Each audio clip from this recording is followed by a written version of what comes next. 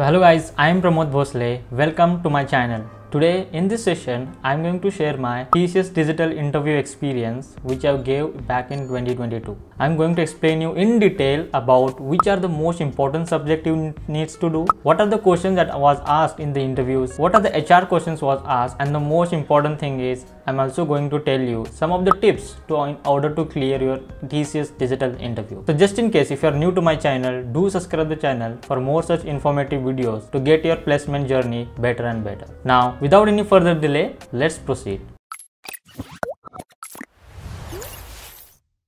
I gave my TCS Ninja exam back in 2021 and nearly after 2 weeks I got a mail that you have been selected for TCS Digital Advanced Coding Round. So exactly on 10th of October I gave my TCS Digital Advanced Coding Round. So in this coding round there were two questions based on the mathematical one and believe me that it was a bit harder as compared to those which are present in TCS Ninja coding. So I gave my TCS Digital Advanced Coding Round on 10th of October and I waited for 2 weeks and nearly after 2 weeks exactly on 23rd October I got an interview call. So I gave my TCS digital interview exactly on 24th of October 2021. Now I'm going to tell you all those things what was asked. So when I sat for the interview, there were three panel present in front of me. There were two ladies and one male. So first of all, they asked me my introduction. So I gave my introduction and later they asked me which are the subject in which you're really good at. So I told them that few of the subjects are really strong for me. For example, C, C++, data structures, database, operating system. So I told that these are the subjects I'm really good at it. So interviewer started with the subject called database.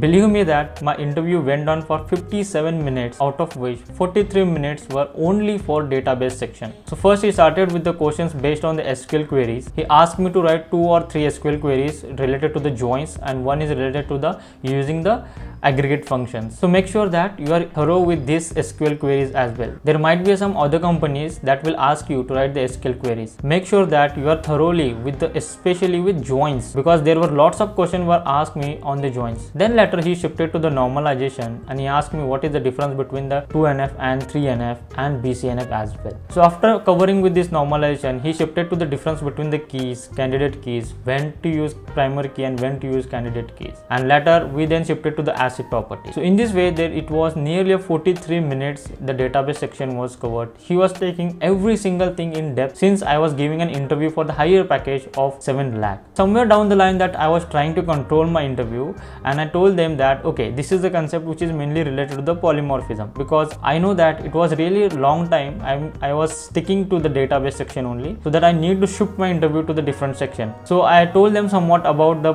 polymorphism. He told me he asked me something from database database and I tried to relate it to the polymorphism just because he should shift to the polymorphism or OOPS concept. So as soon as I told him about polymorphism, he immediately shifted to the OOPS concept and he gave me three examples that there are the three functions out of which I have written a function overloading and which will give me an error or which will execute correctly. So I guessed those uh, answer rightly. There it was three functions and two parameters were passed to it called as int a, int b, float a, float b int a float b. So these are the two three functions he gave me and asked which one will give me error and which will not give me an error. So after performing all these things then he asked uh, three or four questions from operating systems like what is a process synchronizations? What is the difference between the process and the program? And later he gave me one of the most trickiest question that what are the different types of scheduling algorithm present in operating system? And later he asked me which algorithm to use when right? You just don't tell me which are the different algorithms we have. Also tell me which algorithm is used at which time. So he asked me about it. And after doing this for nearly 40 to 43 minutes he asked me two hr questions only. He told me only two hr questions.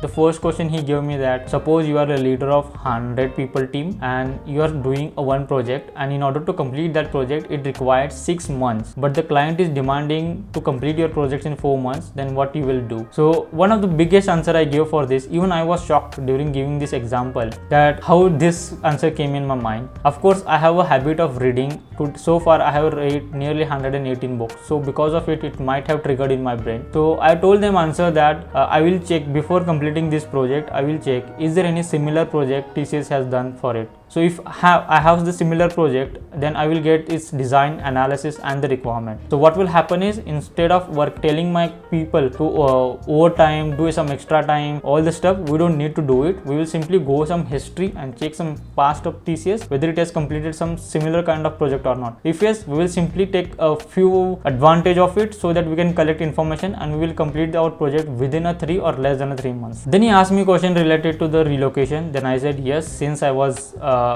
living in a hostel there is no any problem for me in order to relocate for me. So i said yes to relocate. So in this way the interview went on nearly for the 57 minutes. So one thing i would like to recommend you is that whenever you are preparing especially for TCS digital interview make sure that there are certain points you need to take care of it. Number one your whole interview will be a technical interview since you are giving an interview to the 7.5 lakh of lpa then number second point is make sure that your projects are on hold. That your project has to be strong. I tell you one of the important thing about is that my project was done in java and during that time i was not much good enough in java. So i was bit tense about project. So when he asked me about the project i gave the answer in one of the best way that i could give in possible way. Since i'm really good in c++ i wanted to learn some basics of java. So i decided to, to take a challenge and develop my project in java. After telling this answer interviewer haven't asked me any question related to the java and the project. So this is how you should manage your interview right? It is not only the front person who will control you. Your answers will tell you which will be the next question. Your last line of your answer will tell you the next question. So make sure that whatever the answer you are telling your last point of your answer should be in such a way that you are good enough to answer the next question. And the number three point is that you don't need to much focus on hr questions because since you are giving an interview to the higher package your most of the interview will be covered only for the technical subject. 90 percent it will be a technical subject only. Once you are done with these three important things is make sure that you have a strong hold on sql queries as well. Because there might be some possibilities that they will ask you to write the query. And even after you write the query they will ask you to optimize it. Because there are a number of ways to write a query but which is the optimal way. So this is how you should prepare for the tcs nqt exam. Most important thing i would like to tell you that don't forget to do the subjects like c c++ data structures and algorithms oops concept and database. So these are the must do subjects must do subjects. And apart from these subjects you need to be thorough with your projects. Don't tell everything about the project just give them overall idea about what problem you have solved why did you choose that project which technology you use what was your role? Because the moment you tell you your role you will get the questions only related to your role. If you tell everything about the project then you have to answer each and every single questions related to the project. Even if you have not done that particular part from your project you have to answer your question because the front person don't know what was your role in the project. So don't forget to tell the role in your project. So i guess this video has helped you a bit so that you can prepare a good enough for TCS digital interview. If you need any different kind of video related to the placement or any of the preparations, do let me know in the comment section so that I can make a better video for you to make your journey